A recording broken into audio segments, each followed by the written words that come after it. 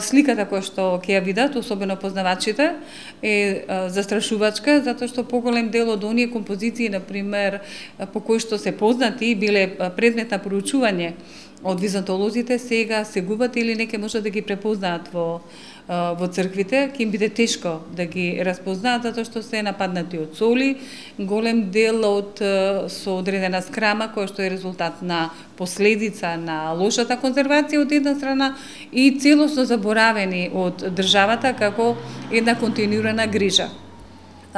Охрид изобилува со такви примероци, ја само кажав еден пример, а тој е Привлепта како најдрастичен, меѓутоа не е подобра состојбата ниту во Света Софија катедралната црква на Охридската архиепископија.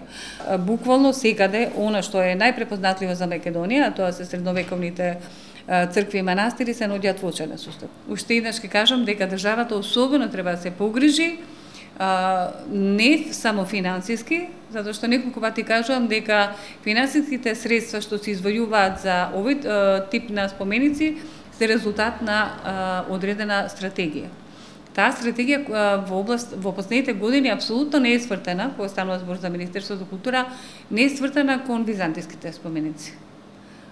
Не случајно повеќе се оди кон археолошки ископувања и тоа е сепак сврзано со така наречената потрага по нашето пославно минута и она што може нас да не представи како народ со многу богата историја во една сосема друга според мене погрешна насока. Значи да се стави тенденцијата на она што е реално вредно.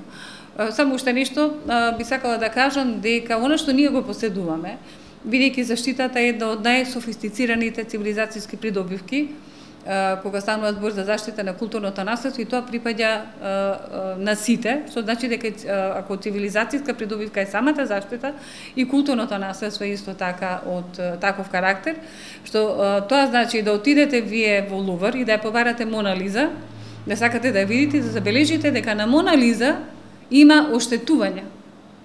И дека никој таму, нели во Лувр, апсолутно не се вознемирува што тие оштетувања се присутни на, на ликот или на облеката, апсолутно не е битно.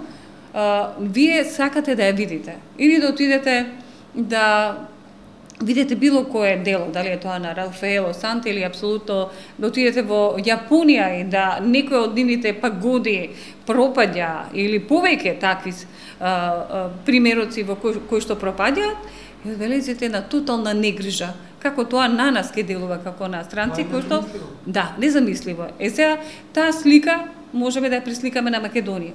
Кога од страна ќе дојдат и ќе забележат масовно.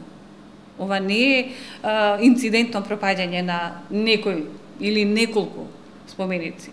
Како што исто така фрапантно огромен број од 160 артефакти да ги снема од Музеј на Македонија, од национална институција, и надлежното министерство апсолутно да не се почувствува ниту загрижено.